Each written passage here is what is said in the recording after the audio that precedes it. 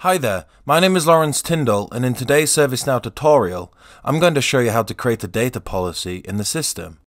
Before we get started, I'm going to explain what a data policy is. A data policy is a server-side rule that allows administrators to set read-only and mandatory attributes to fields within a table.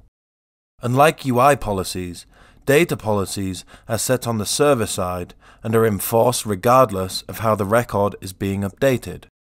For example, a UI policy that made a field read-only on a form wouldn't prevent a user from populating it using an import set. Whereas if a data policy was created to make a field read-only, users wouldn't be able to populate the field regardless of the methods they tried to use. Data policies are great to use if you wish to enforce data integrity across your records.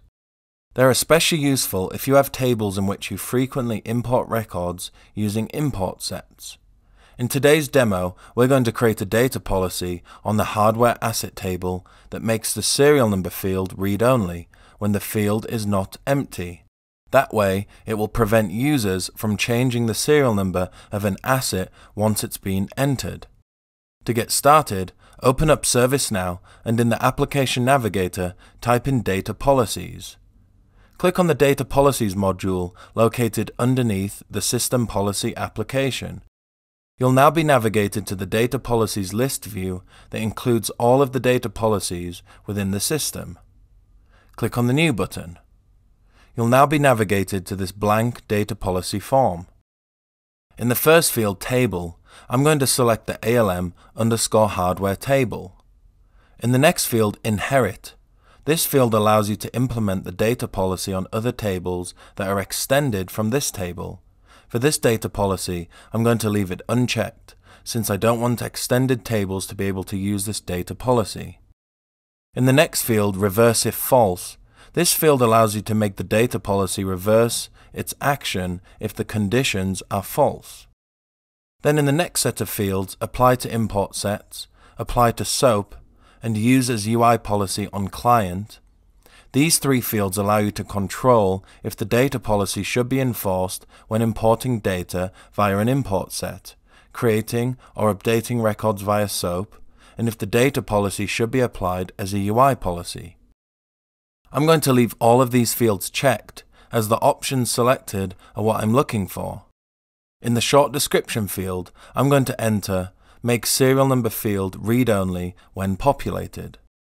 For the conditions, I'm going to select the serial number field and then the not empty operator. Now right click on the form header and click Save.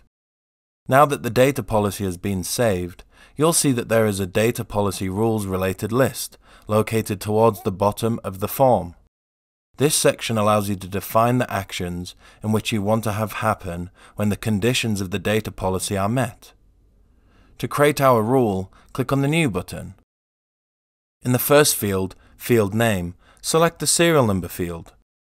Now set the read-only field to true. Click on the Submit button to save this data policy rule.